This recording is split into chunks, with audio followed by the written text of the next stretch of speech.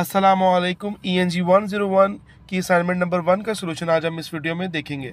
तो अगर आप मेरे चैनल पर नए हैं तो मेरे चैनल को सब्सक्राइब करें और बेल के आइकन पर क्लिक करें। तो यहाँ पे एक पैसेज दिया गया जिसको आपने पढ़ना है और उसमें से जो मल्टीपल चॉइस जो है, उसमें से आपने आंसर करने हैं। तो इसको बेहतर तरीका ये कि मैंने इसको उर्दू ट्रांसलेशन में कर लिया है।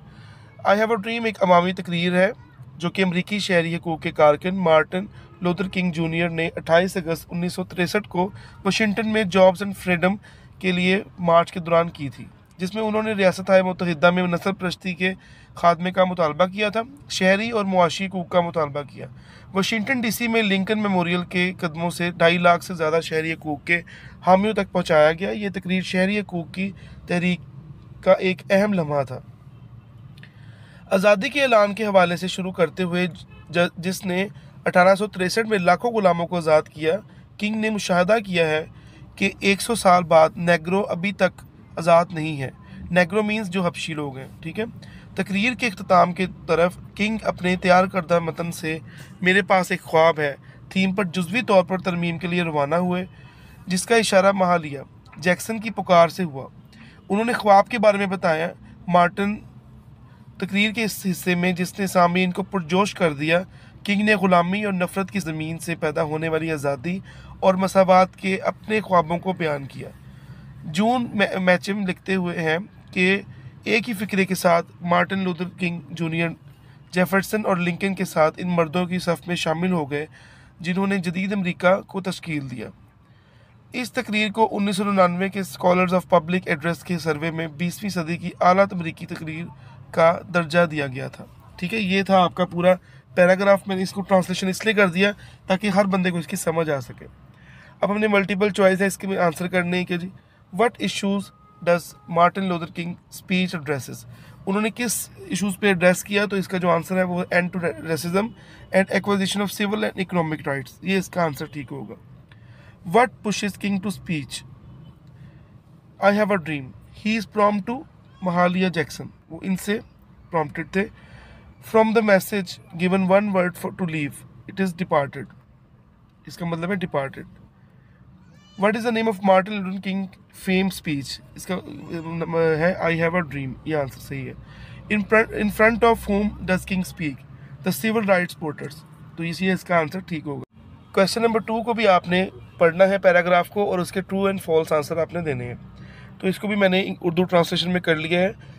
हालिया बरसों में इरतकई माहरीन हयात और तहफ़ पसंदों ने दो बुनियादी वजूहत पर अशकंट बंदी बारिश की ज, ज, के जंगलात पर बढ़ती हुई तवज्जो मरकूज़ की है। सबसे पहले अगरचा ये रहाइश गाहें ज़मीन की ज़मीनी सतह का सिर्फ़ सात फ़ीसद अहाता करती हैं लेकिन इनमें पूरी दुनिया के बायोटा की नसफ से भी ज़्यादा अनवा मौजूद है। दूसरा जंगलात इतनी तेज़ी से तबाह हो रहे हैं कि वो ज़्यादातर अगली सदी के अंदर ख़त्म हो जाएँगे। अपनी साथ अपने साथ लाखों इनवा को मादूमियत में ले जाएँगे। दीगर प्रजातियों से माला माल हयातात ख़तरे में हैं। ख़ास तौर पर अशकंट बंदी मरजान की चटानें अर्जियाती तौर पर कदीम झीलें, साहली गीली ज़मीनें, हर एक अपने तौर पर खसूसी तवज्जो का मुस्तक हैं। लेकिन इस वक्त बारिश के जंगलात पर बड़ी आलमी बहरान की मसाली मसाल के तौर पर काम करते हैं।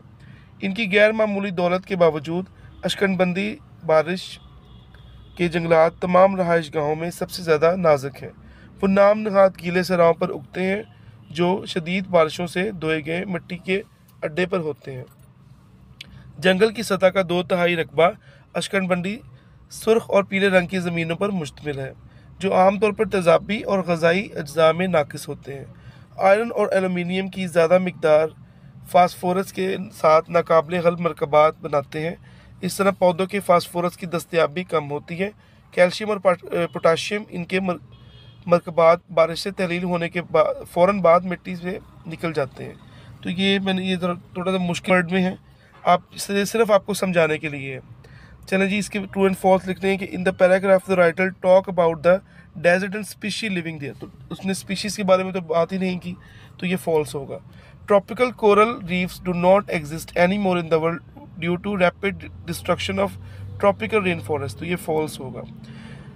The paragraph seems as subject matter of intellectual philosopher false है ये। ठीक है? फिलोसोफर्स ने नहीं लिखा हुआ ये।